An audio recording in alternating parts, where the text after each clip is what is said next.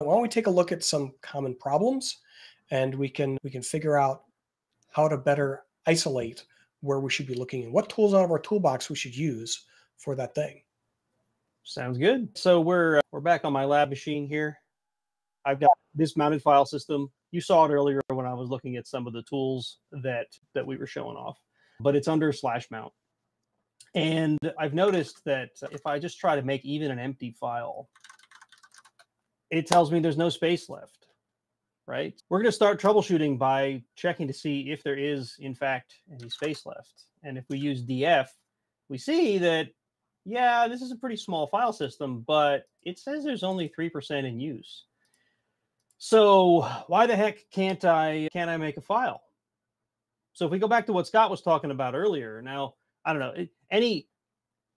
First of all, Scott, anything you would try other than because I know exactly what to go to to fix the problem, and to be honest, I already know how to look for what the problem is.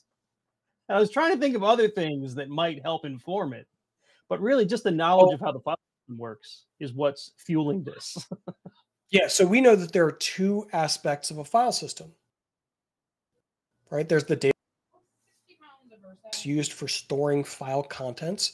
And I can see that's not what's causing your out of space right. error.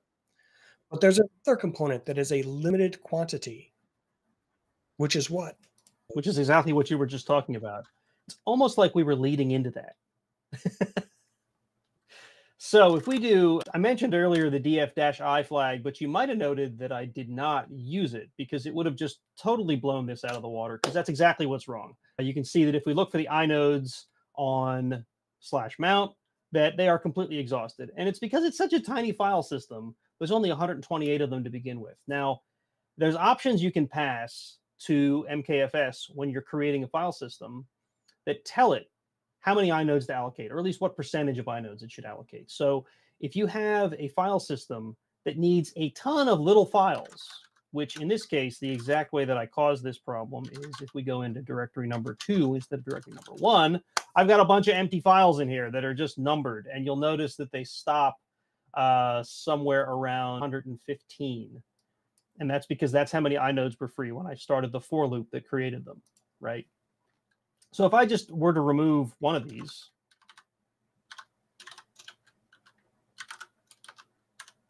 and then look, sorry, df, I keep doing that. There is no DH.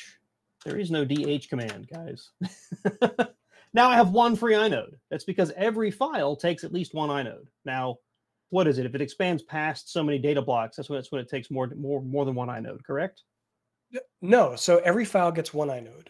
Okay. And if you like I said, I was busy chatting when you were describing it. right. So this is a great question though. If you expand past the um, number of data blocks included in the inode data, it actually takes data blocks from the file system and converts them to additional data block pointers. And this is a concept known as indirect file pointing. So the inode points to an indirect pointer, which is this block of additional pointers that then point to data blocks. And you can actually go several layers deep in that to store large files. And some file systems are smart enough. I think XFS does this, where uh, if it's running out of inodes, it can actually dynamically allocate more. So that's Correct. one of the reasons we like XFS. And XFS is the default for Red Hat Enterprise Linux uh, 7, 8, and 9.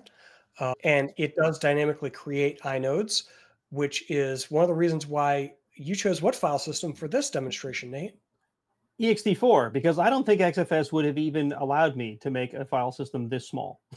So that is true, but XFS would also make it really hard for us to demonstrate this because it would just keep converting data blocks into inode yeah. uh, sections so that we could keep making these tiny or very little uh, data stored files.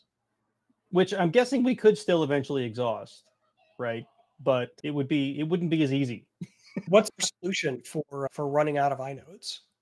The solution, there's a couple solutions. One would be you have to plan ahead of time. If you're using ext4, you have to plan ahead of time and allocate more inodes if you know you're going to have a bunch of tiny files. And there's certain workloads that do make a bunch of tiny files. Some web frameworks do it. Some disk-based storage and retrieval systems will make a bunch of tiny files. So those are things you're going to want to consider. And when you're creating the file system, you're going to want to say allocate more inodes than you normally would. Or use XFS, right? A big enough disk that'll support XFS, use XFS, and then this will expand. Unfortunately, in the case where I'm at, unless you know something I don't, the only real fix is to either make a new file system and migrate to it or delete some files. So there's one more fix, but it is only really valuable if you have used an extensible device.